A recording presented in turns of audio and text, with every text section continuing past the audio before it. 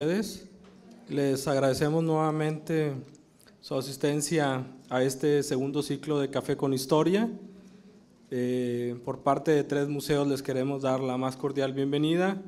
Eh, este ciclo, como ustedes saben, ya tiene 11 años eh, de estarse llevando a cabo aquí con la Asociación Estatal de Cronistas Municipales de Nuevo León, José P. Saldaña.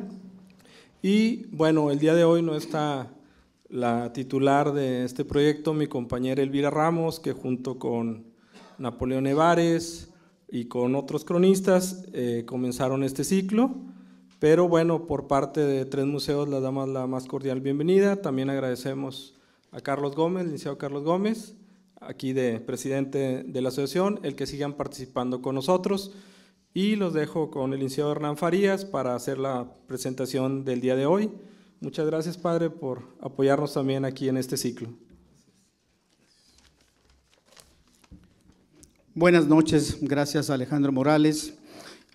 Sean bienvenidos de nuevo a el programa emblemático de Café con Historia, que ya cumple más de una década haciendo historia. La Asociación Estatal de Cronistas Municipales de Nuevo León, José. Saldaña, eh, presidida por el doctor Carlos Gómez Flores, se engalana abrir este nuevo ciclo titulado Tragedias y Milagros de Nuevo León, en donde hacemos un recorrido no exhaustivo de grandes acontecimientos que han dañado a las poblaciones de Nuevo León, entre las que están seis fechas, 4 de octubre, cuatro martes de octubre, siempre a las 7 en este lugar, y, los primeros dos martes de noviembre. Quiero permitirme presentar al presbítero Jorge Rodríguez Moya, que es él a quien está a cargo la conferencia de, este, de esta apertura de tragedias y milagros de Nuevo León. Nace el 22 de enero de 1960 en el Cercado, Nuevo León. Estudió estudios básicos, la Escuela Estatal Melchor Ocampo y Colegio María Moreno. Ingresó al Seminario de Monterrey el 24 de agosto de 1974. Concluyó estudios de filosofía en la Universidad del Valle de Atemajac, en Guadalajara, Jalisco, en junio de 1981, con acentuación en filosofía de la historia ordenación sacerdotal el 15 de agosto de 1987. El 10 de mayo de 1990 coordinó la misa con el Papa San Juan Pablo II ante más de dos millones de personas en el río Santa Catarina, donde se coronó a la imagen de la Virgen Chiquita. Recibió el grado de licenciado en Sagrada Liturgia en el Pontificio Ateneo de San Selmo en la ciudad de Roma el 12 de diciembre de 1993. Capellán y luego rector de la Catedral de Monterrey del 30 de agosto de 1993 hasta agosto del 2005. En este periodo se remodeló la catedral para la celebración del cuarto centenario de la fundación de la ciudad, donde por mandato del Papa Juan Pablo II se coronó la imagen de la Inmaculada Concepción, párroco de Cristo Rey del 2005 al 2013. Durante 15 años fue maestro del Seminario de Monterrey, 11 años fue promotor de la causa de beatificación del padre Raimundo Jardón. Y durante 22 años secretario de la Pastoral Litúrgica de la Arquidiócesis de Monterrey. Y 21 años como maestro de las celebraciones litúrgicas de la misma arquidiócesis. Otros estudios y diplomados, iconología bizantina en Grecia, liturgia hierosolimitana en Jerusalén, administrador de empresas y comunicación en Monterrey, así como estudio de inglés, italiano, francés y latín. Con ustedes, el padre Jorge Rodríguez Moya. Bienvenido, padre.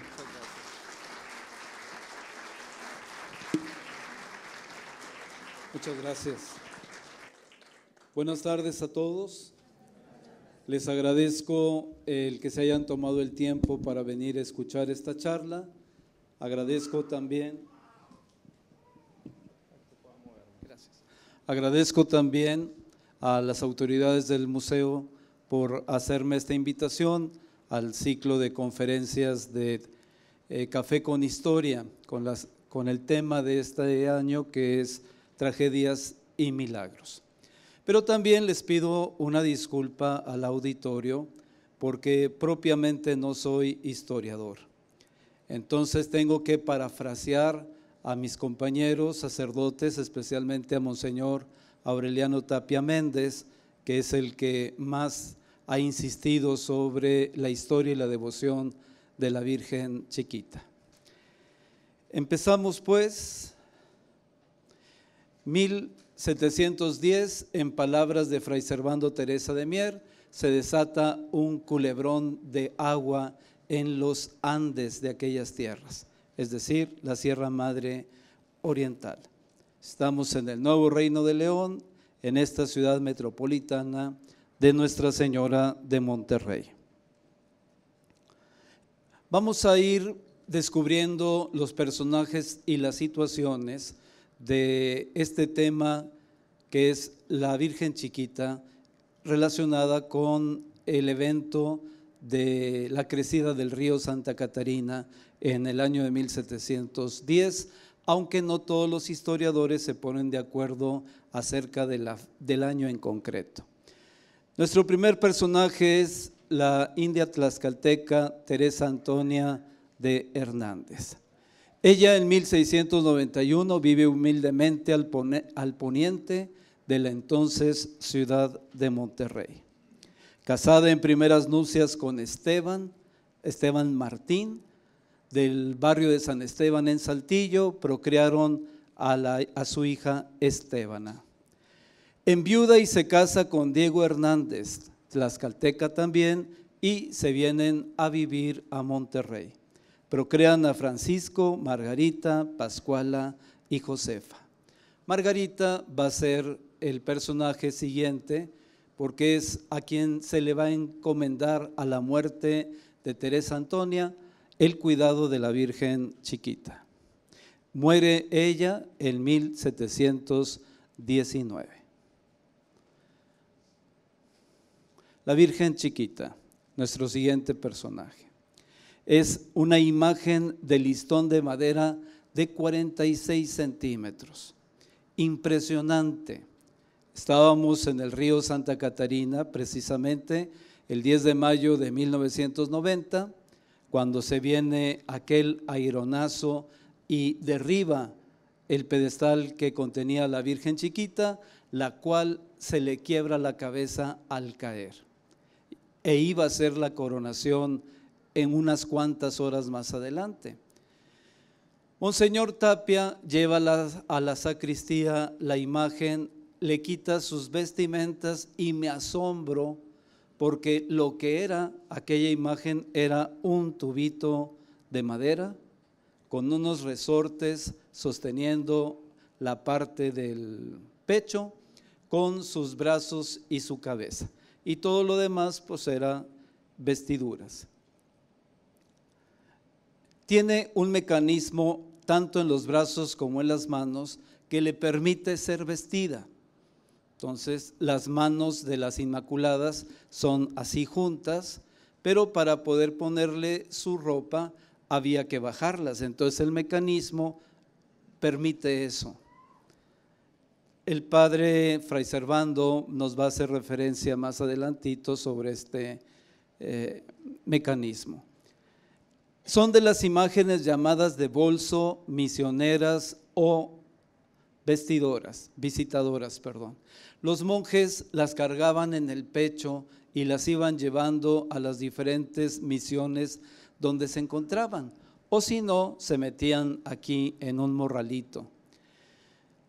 Mm, Teresa Antonia es la dueña de esta imagen y por lo tanto debe ser una imagen también de talla tlaxcalteca y bastante humilde, bastante sencilla. Se le llama también amponas porque eh, son vestidas y generalmente almidonadas para poder que no quedara la imagen como si fuera de un tubito. Están generalmente colocadas en base de plata con la luna a los pies y fue entregada en herencia a, su hija Margarita para que cuidara como ella lo había hecho de su capillita. El siguiente personaje es el río Santa Catarina.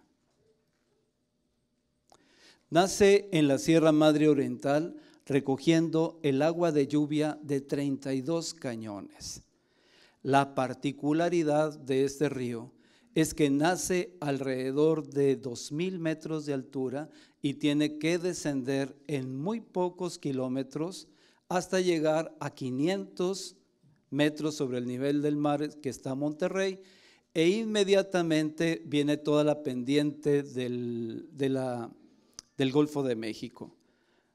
Ya Cadereyta está a 300, ya Ramones está a 100, entonces agarra una velocidad impresionante como si se tratara de un tobogán. La historia tiene registradas 15 inundaciones del río Santa Catarina. En el cerro de Morteros, el agua de los cañones sufre un efecto curioso. Entra por debajo de la tierra, se resume y viaja por debajo de una falla tectónica que forma el río Santa Catarina. Lo que hace es que adquiera mucho más velocidad por debajo del agua y viene rebotando aquí a la altura de San Jerónimo, por donde se encuentra la iglesia del Carmen, donde da vuelta prácticamente el río Santa Catarina. Lo cual quiere decir que a la altura de Santa Catarina y a la altura de San Pedro Garza García, el caudal es fuerte, pero se incrementa de una manera especial a partir de su entrada a Monterrey. Atraviesa el área metropolitana, como ya se los había dicho, sobre una falla geológica, que es donde choca la placa del Golfo contra la placa del continente. Y ahí, en ese choque, se han formado los cerros de las Mitras, el Cerro del Topo y toda la loma larga, es el empuje de la placa del Golfo contra la del continente. Desemboca en el río San Juan y finalmente el río Bravo hasta llegar al Golfo de México.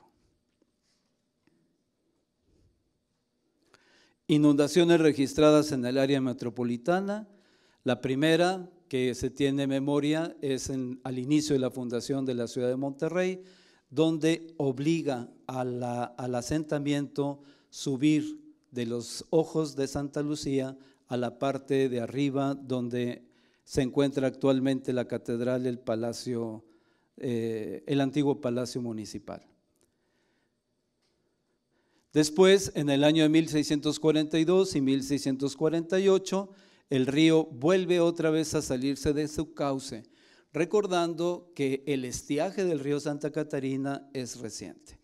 Entonces era mucho más fácil que se desbordara en el pasado.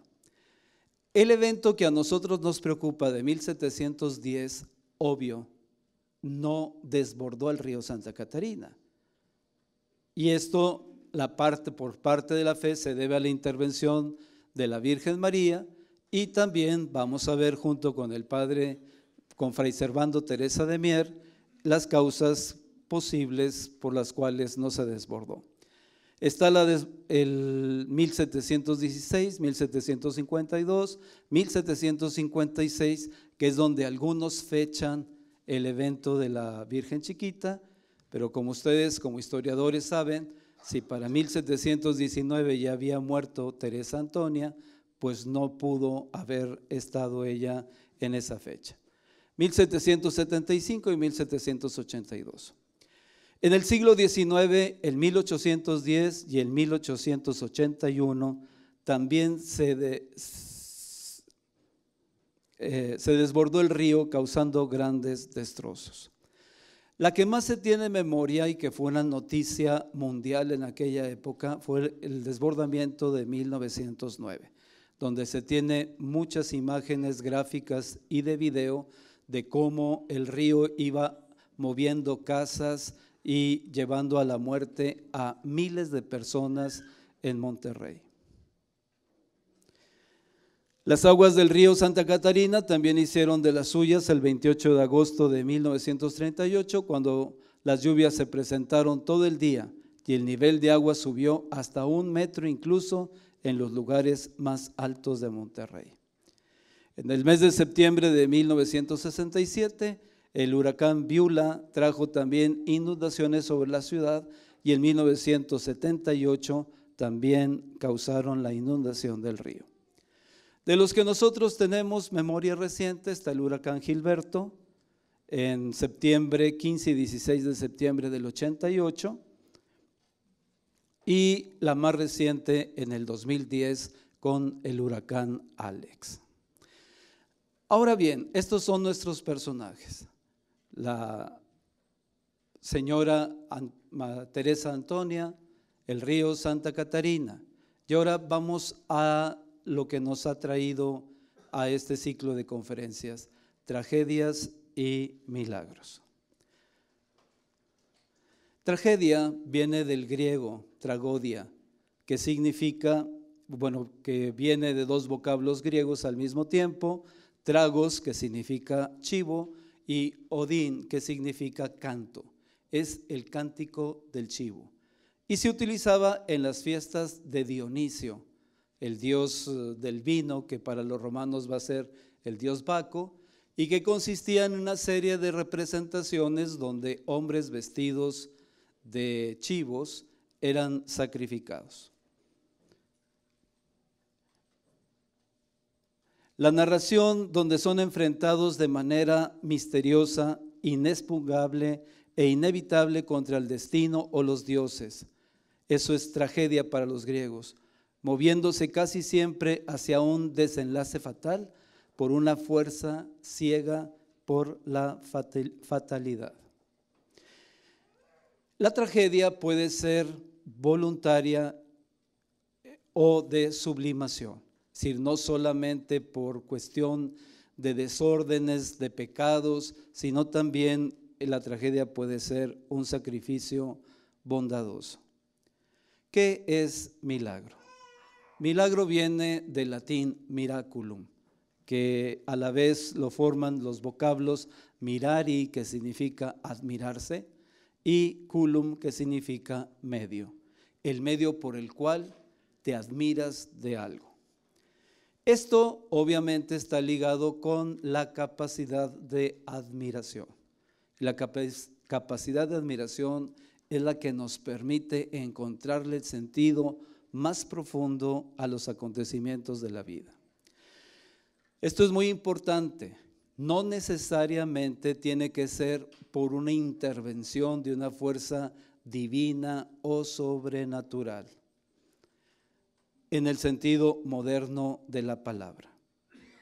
Los antiguos también lo referían a las cosas prodigiosas que escapaban del entendimiento, como eclipses, estaciones del año, y las tempestades. Veamos pues el evento. Viene a nosotros gracias a la quinta carta de Fray Servando Teresa de Mier, que ficticiamente dirige al cronista de las Indias, don Juan Bautista Muñoz. ¿Por qué ficticiamente? Porque para cuando se escribe esta carta, don Juan Bautista ya había muerto. Tal vez lo hace Fray Servando para darle una cierta importancia, una connotación especial, dado la historia que, que casi todos nosotros, por no decir todos, sabemos acerca de Fray Servando. Explica, quitando todo vestigio de admiración, la causa por la cual los brazos y las manos de la Virgen quedaron en posición como deteniendo la furia de las aguas. Y es que Fray Servando va a tener una historia bastante peculiar, muy asociada al estilo de nosotros los regiomontanos, que no nos conformamos con prácticamente casi nada y queremos en todo estar bien, bien asentados. Fray Servando, Teresa de Mier y Noriega, vecino de esta ciudad de Monterrey, ingresó a la orden de los dominicos o predicadores y va a dirigir un sermón acerca de las apariciones de la Virgen de Guadalupe. En este sermón él explica que la Virgen no se apareció a Juan Diego, sino que Santo Tomás el apóstol había ya estado en América y había pintado sobre la capa de Quetzalcoatl la imagen de la Virgen, que después vino a surgir de nuevo cuando es la colonización de América. Este sermón disgusta mucho al arzobispo de México y entonces manda confinar en su celda del monasterio a Fray Servando, mientras se hace una serie de investigaciones que lo va a llevar a la Santa Inquisición a condenarlo y a expulsarlo de México. Después de haberse pasado unos cuantos días en San Juan de Ulúa, va a parar a España. Como todas las cosas, el sermón se olvida, Fray Servando se encuentra en España, pero de repente alguien vuelve a suscitar el problema y Fray Servando se molesta, se enoja, le cambia el humor porque insiste nuevamente sobre un asunto que ya había quedado en el pasado, que le había causado a él mucha pena, mucho dolor. De hecho, su familia se inconformó con él, etc. Y entonces Fray Servando le empieza a dirigir estas cartas donde gracias a este humor peculiar de, don, de Fray Servando, pudieron llegar a nosotros dos relatos. Uno, el de la Virgen del Roble, y el otro, el de la Virgen de la Zapatera. Y para esto, más adelantito, les voy a pedir a ustedes, historiadores, que nos ayuden a resolver cierto acertijo, cierto enigma que hay en esto.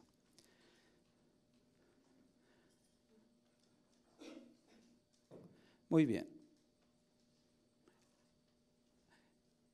Fray Servando, Fray Servando habla de la pastorcita que se encontró a la Virgen del Roble y la tradición que nosotros sabemos que la Virgen fue llevada a la iglesia parroquial, que hoy es la catedral, y que por las noches se iba caminando y regresaba al árbol donde la habían encontrado y luego la tenían que volver otra vez a llevar y traían su vestidito pegados los cardos, etc.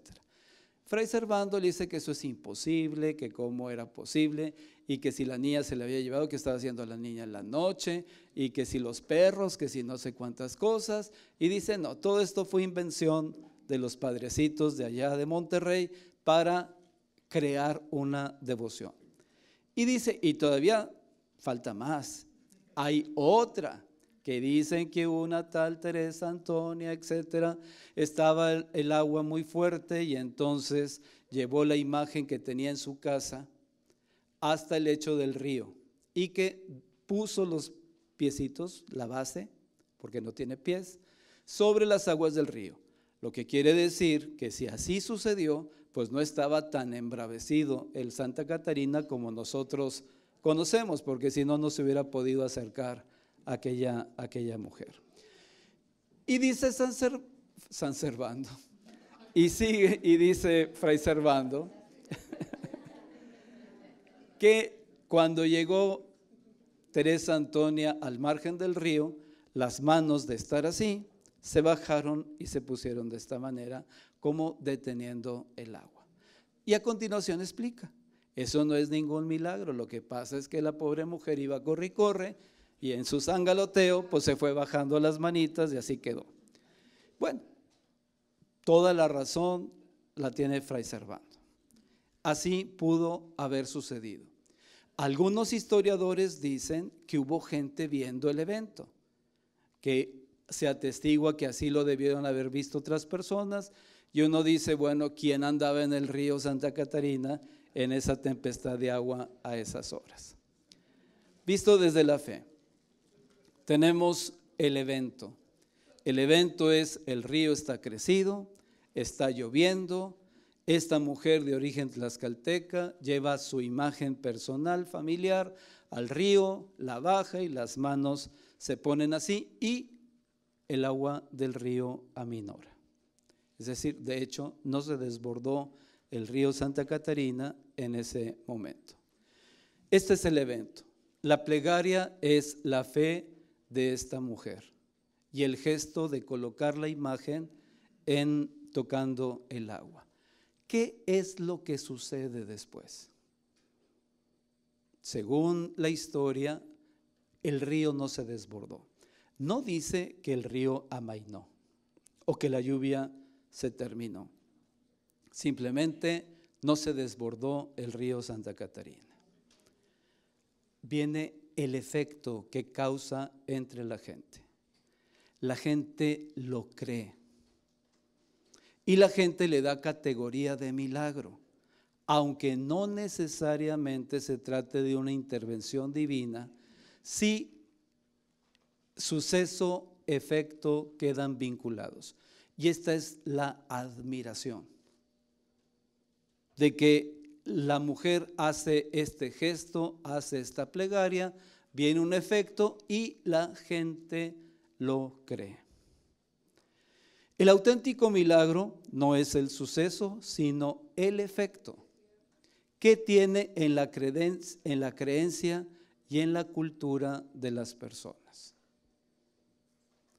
A partir de ahí, la gente va, cuando va de paseo hacia el poniente de la ciudad, a visitar la casa de Teresa Antonia y después de la ermita que ella hace y después la donación que hace una mujer prominente para que se le construya una capillita. Y aquí sí no hay intervención de la iglesia. Porque para poder que algo se pueda considerar como una devoción popular, tiene que ser del pueblo, tiene que nacer del pueblo y se sostiene con la creencia del pueblo no con la creencia de una persona. El milagro no es un suceso con interpretación personal. Hoy en día en Monterrey estamos plagados de eventos, de que la Virgen lloró, que le sudó aceite, que cayeron escarchitas, que no sé cuántas cosas. Y hay una interpretación personal del suceso, pero no una interpretación colectiva, no hay una creencia generalizada, como se puede dar el caso de la Virgen de Guadalupe o esta de la Virgen del Roble o de la Virgen chiquita. ¿Qué es lo que hace la iglesia como institución? Lo que la gente cree es lo que, lo que la gente ora, es lo que lo que la iglesia cree. Al mantenerse por varios años ya casi más de tres siglos, en la conciencia de la gente, la intervención que la Virgen chiquita hizo y que nos llega a nosotros no por tradición eclesiástica, nos llega a nosotros por la carta de Fray Servando Teresa de Mier. Entonces se crea una conciencia histórica. Y la conciencia histórica no puede ser manipulada. Esta sí que sobrevive al juicio de los eclesiásticos y al juicio de los filósofos o de los antropólogos. Vive en el corazón de las personas. La Virgen Chiquita, protectora de la ciudad. Monterrey es la única ciudad en el mundo fuera de Roma que tiene tres basílicas. Aquí yo tendría que quitarle eso de Virgen Chiquita o de Virgen de Guadalupe o Virgen del Roble o Inmaculada Concepción. Es la única ciudad en el mundo que tiene tres basílicas y una catedral dedicadas a la Virgen María. Dos de esas iglesias, de esas basílicas, basílica significa la casa del rey, la casa de Jesucristo, y nos vinculan directamente con la Santa Sede. De hecho, no sé cómo lograron esto. Es muy difícil que el Vaticano, que la Santa Sede, le conceda a una diócesis una basílica. Generalmente concede por país una, dos, tres basílicas. Pero tres en una misma ciudad Eso ni siquiera más que en Roma. Pero a diferencia de Roma, estas tres, las únicas tres, son a la Virgen María. Y curiosamente, estas iglesias están dentro del centro de Monterrey, a unas cuantas cuadras una de otra.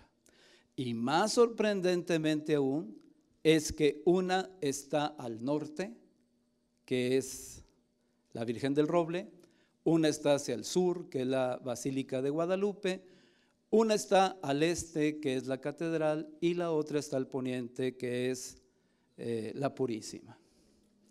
Más sorprendente aún es que las puertas se miran. Si consideramos el antiguo santuario de Guadalupe, que tiene su puerta hacia el norte, el roble tiene su puerta hacia el sur, la catedral tiene su puerta hacia el poniente y la Purísima tiene su puerta hacia el oriente.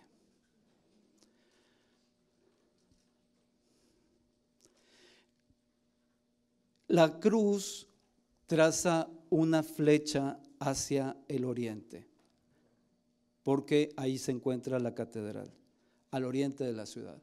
Y el oriente para los cristianos tiene una simbología bastante importante. El oriente es el lugar por donde se espera que Jesucristo regrese, por donde sale el sol de justicia. Es el signo de la vida eterna, es el signo del domingo, es el signo de la resurrección. Pero la Virgen chiquita, a la que podemos titular la protectora de Monterrey, está hacia el poniente, hacia el occidente. Y el occidente significa lugar donde se asesina. Y es el símbolo de la muerte, del infierno y de todas las fuerzas del mal. En las iglesias europeas, sobre todo en el estilo gótico, las puertas de las iglesias están orientadas, valga la palabra, hacia el poniente. Y todos los santos que están en la fachada principal, todos están mirando hacia el infinito. ¿Qué hacen toda esa cantidad de santos y de ángeles y junto con Jesucristo en esculturas, mirando hacia el infinito, hacia el poniente? Están cuidando a la iglesia. Están como vigías, observando que las fuerzas del mal no ataquen a la iglesia.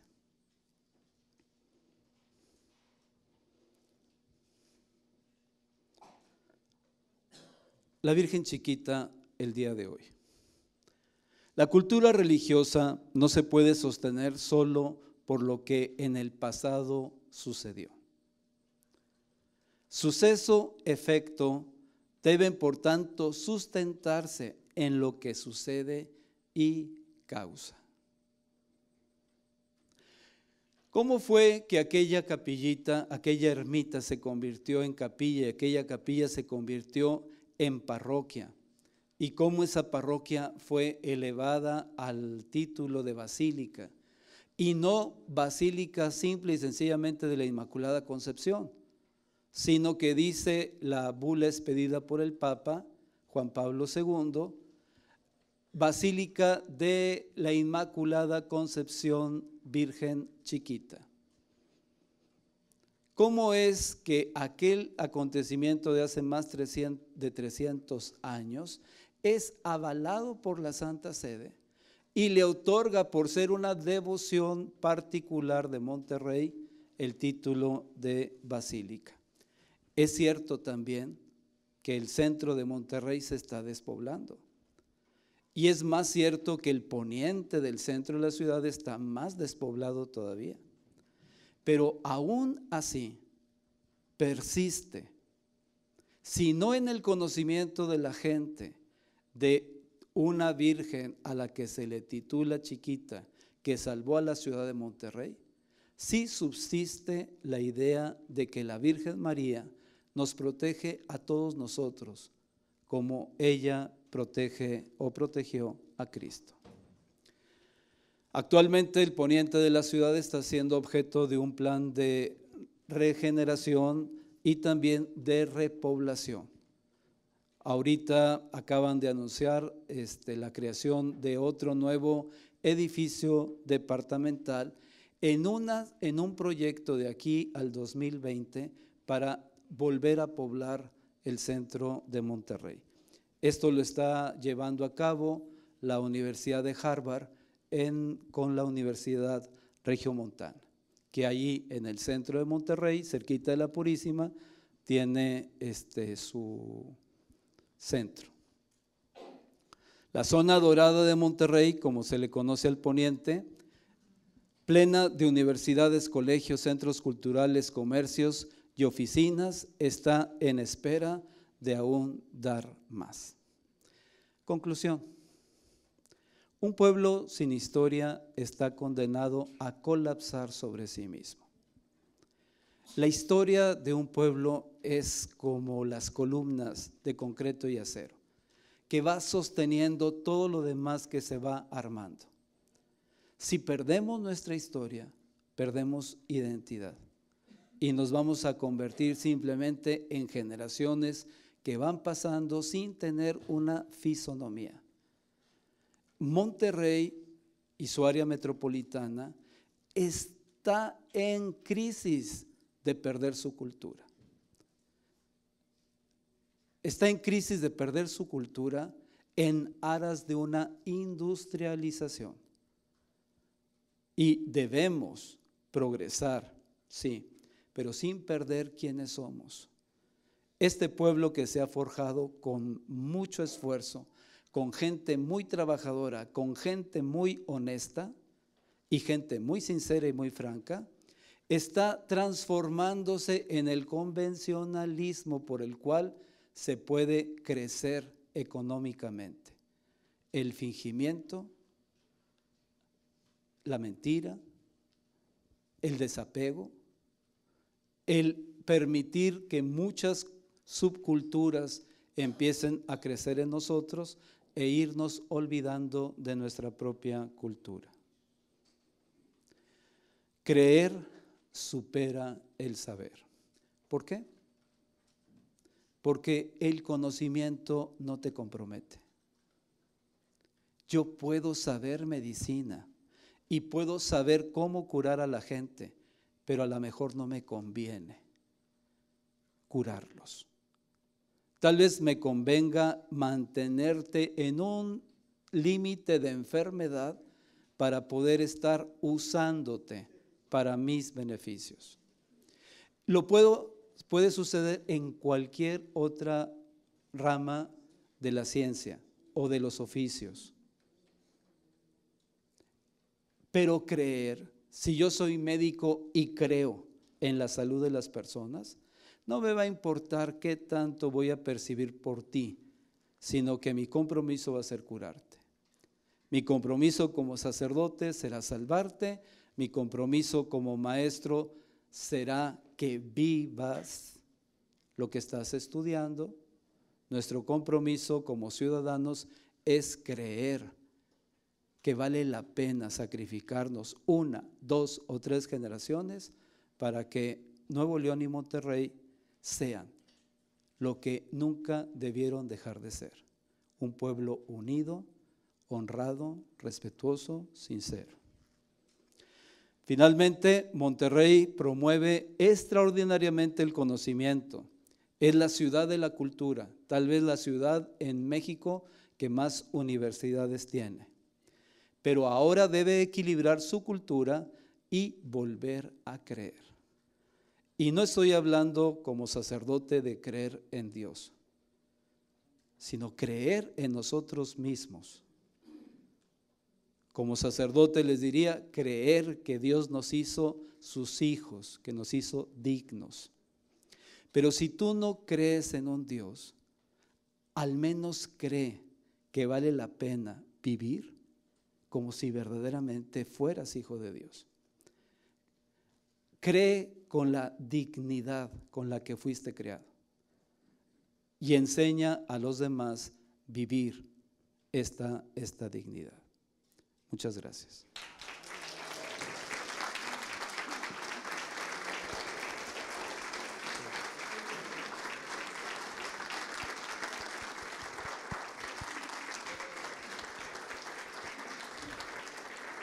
Bueno creo que tenemos un momentito para preguntas.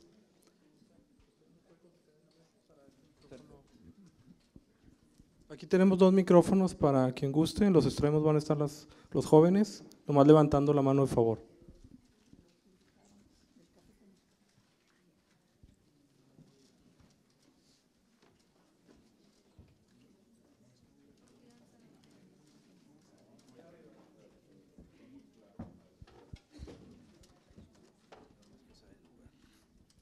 Eh, buenas noches. Eh, nada más quiero saber el lugar, si se puede, porque he estado confundido eh, en el sitio donde ocurrió que pusieron la, la imagen. Exactamente no sé dónde fue. Sí. A ciencia cierta, yo tampoco lo sé. Porque se supone que Teresa Antonia vivía un poquito más abajo de donde se encuentra actualmente la Basílica de la Purísima. Y el margen del río Santa Catarina era más corto que lo que actualmente es. Entonces, pues si alguien tiene una noción más clara físicamente dónde estuvo esto, pero creo que es por ahí. Por lo que ahorita sería Constitución a la altura de, del río 70, me imagino. Dígame. Bueno, quiero felicitarlo por este tema. Una pregunta que quisiera hacerle que hemos visto en algunas imágenes es, aparte de la Virgen Chiquita, ¿dónde se encontraba el cementerio de la Purísima?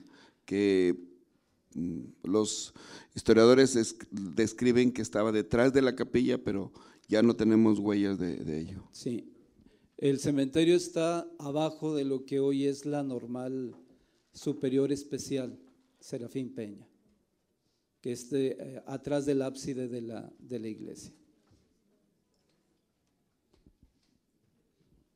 Que sería la calle de Porfirio Díaz y, y la calle Hidalgo. Buenas noches. Buenas noches. Eh, yo tengo la idea de, o es lo que se dice, ¿verdad? Cuando fallece alguien, va a dar al cielo, Sí. ¿verdad? Entonces, ¿a qué, va- a qué viene Jesús en su resurrección? Si ya todos están en el cielo. Bueno, qué, qué padre fuera, ¿verdad? Digo, sería muy padre porque en primer lugar mi chamba se me acabaría. El asunto es este. Dios ha creado un cielo para todos, pero no nos exige Ah, eh, ir a este cielo. Es decir, el cielo no es tanto que te lo tengas que ganar porque está ofrecido, es gratis, pero lo debes de querer. Si y hay personas que no lo desean.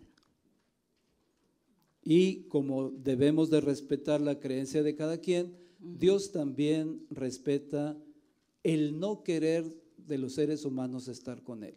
No por ello el Señor tiene un lugar como Dante lo describió de torturas para el que no cree en Él, porque entonces pues ¿dónde estaría el Dios de amor y el Dios de libertad? Como todavía no me muero, todavía no sé decirle qué es lo que hay de- detrás de, de la muerte. Pero nuestra fe nos dice que lo que empezamos aquí en la tierra lo continuamos después de la muerte. Y si tú fuiste una persona buena, después de la muerte seguirás siendo bueno con la perfección de los buenos.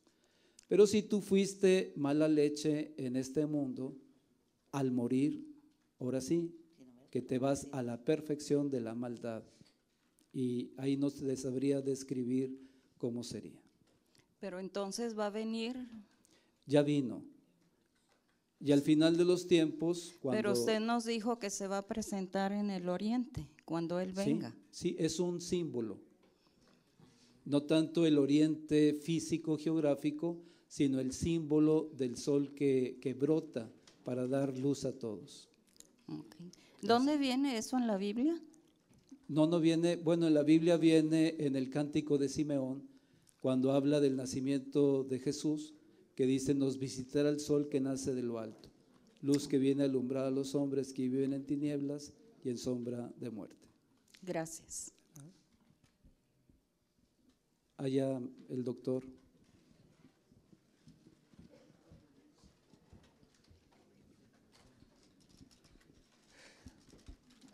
Padre, de veras, me encanta la forma en que manejó la, la exposición. de- soy un Muchas fan, gracias. un fan suyo. Pero también quiero hacer unas precisiones. Claro. Este, Fray Servando es un personaje siempre polémico y este, cuando habla acerca de la, de la- del, milagro y de la inundación que realmente no ocurre, porque por eso es el milagro, no hay inundación y por eso no hay una fecha precisa. La, fecha de 1710 le está dando Israel Cavazos y se apoya también el padre Tapia, porque en esa fecha hay un- una inundación de la ciudad, pero realmente, de acuerdo a la tradición, no la hay. Y, y Fray Servando la está ubicando para 1752. La inundación más cercana a ese año es 1752, eh, 1756, que la da el, el gobernador en el siglo XVIII, este Manuel Bamonde. Él habla de una, de una inundación en 1756. Nadie refiere una inundación en 1752 porque precisamente ese es el milagro, que no la hay. Si no, no, no estaría aquí la Virgen eh, teniendo un papel protagónico. Claro.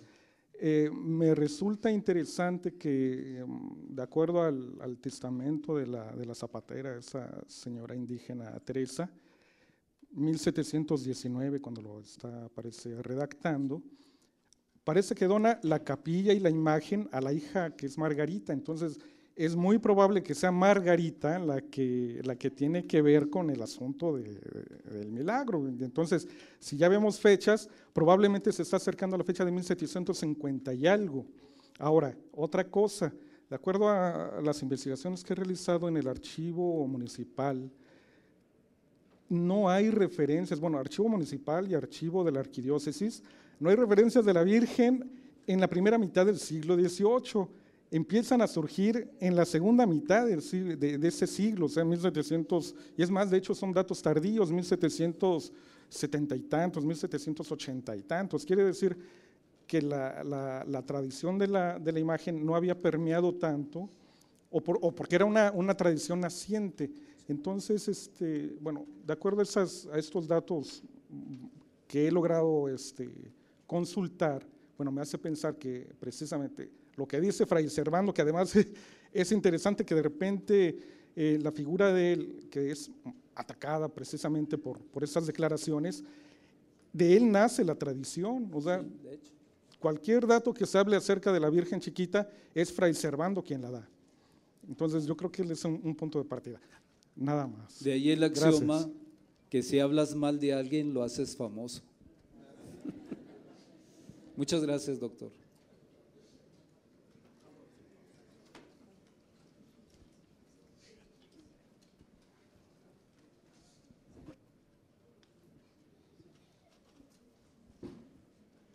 Bien, realmente me conmueve enormemente la manera en que el padre Rodríguez expresa sus saberes, porque no solamente está hablando desde el ángulo del eclesiástico, sino que también en este vasto ah, y muy ah, eh, sensible eh, contexto eh, de lo que ha hablado, refiere y contextualiza la parte de la filosofía, la filosofía del hombre, y nos remite del pasado al presente,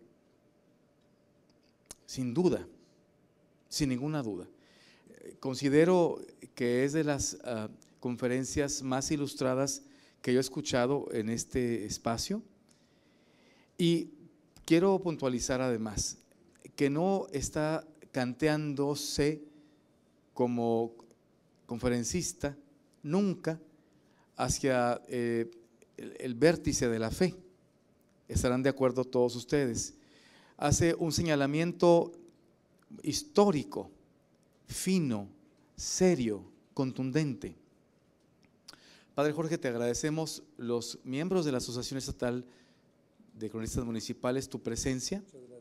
Voy a rogarle a dos de los miembros de la directiva que se encuentran aquí también, señalando que está con nosotros un expresidente de la asociación, el profesor y licenciado Napoleón Nevares Pequeño, cronista de Gualahuises, que nos acompaña el señor cronista también de García, el maestro Antonio Flores, la señora cronista historiadora Hortensia Camacho, de Ciudad Anáhuac, y de la Sociedad de, de Nueva Leonesa de Historia, Geografía y Estadística está la maestra Conchita Hinojosa, entre otras personas.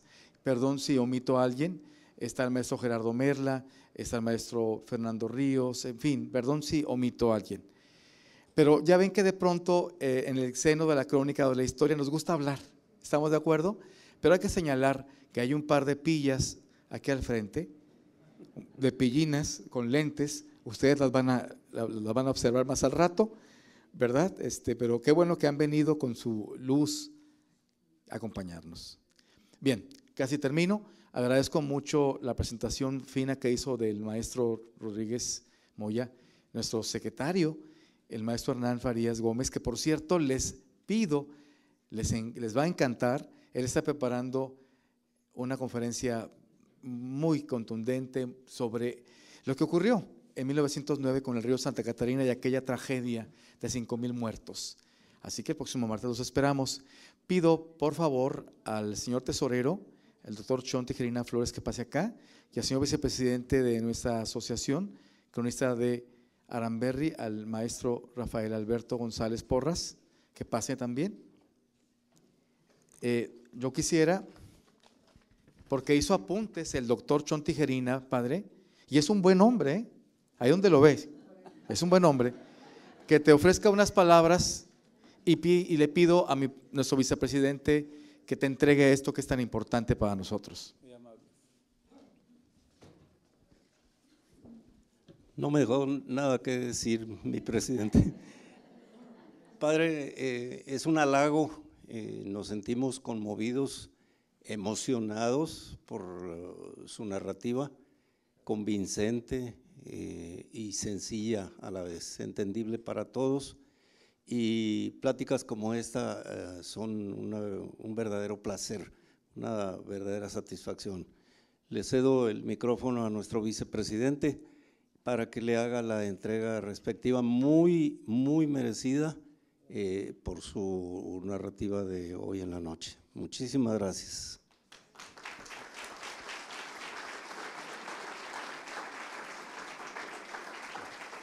Padre, buenas noches. A nombre del Museo de Historia y a nombre de la Sociedad de Cronistas, hacemos entrega de este reconocimiento y gracias por su amable charla, Padre. Muchas, Muchas felicidades, muy amable.